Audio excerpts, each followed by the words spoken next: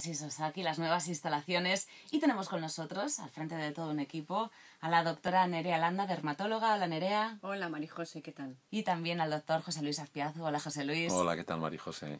Vamos a hablar de depilación, pero no de una depilación cualquiera, por lo menos no de unos pacientes cualquiera. No hablamos de unos pacientes muy delicados, todavía muy verdes, no de los adolescentes, pero eso sí, no por ello dejan de sufrir el problema del vello no deseado, ¿no? Sí, un colectivo que cada vez se acerca más a la depilación láser. En los últimos años ha aumentado muchísimo y viene acompañados normalmente de su madre o de su padre y quieren una seguridad. Nosotros desde hace unos años estamos estudiando más de cerca a estos pacientes y yo igual quiero despejar algunas dudas que son muy frecuentes en mi consulta diaria y es cuándo empezar a depilar, esa es la primera.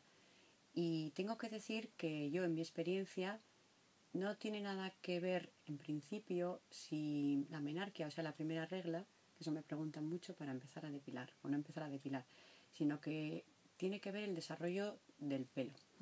Si el pelo es lo suficientemente grueso y oscuro, hay áreas en las que se puede empezar a depilar muy joven, tan joven como 12 años, por ejemplo, y con resultados buenos, muy buenos, solo que con una puntualización, cuando empiezas con 12 años necesitas más sesiones, porque hay pelo que no ha salido aún y que está por salir, y entonces tendremos que depilarlo más adelante.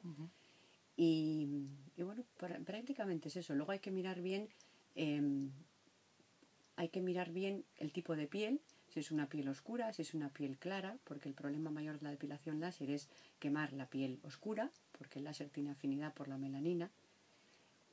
Y hay que asesorar bien sobre qué área empezar, con qué aparato y con qué energías. Como siempre decimos, sobre todo tratándose de adolescentes, ¿no? de, personas todavía en pleno desarrollo, muchísimo cuidado con lo que se hace, muchísimo cuidado en qué manos se pone cada uno, ¿no? Es como un tema más sensible, si cabe. Como todo, hay que informar bien al principio, hay que informar em, con el conocimiento y con la experiencia, con honestidad y una vez tienes esas tres cosas, pues ya está. Es, es lo que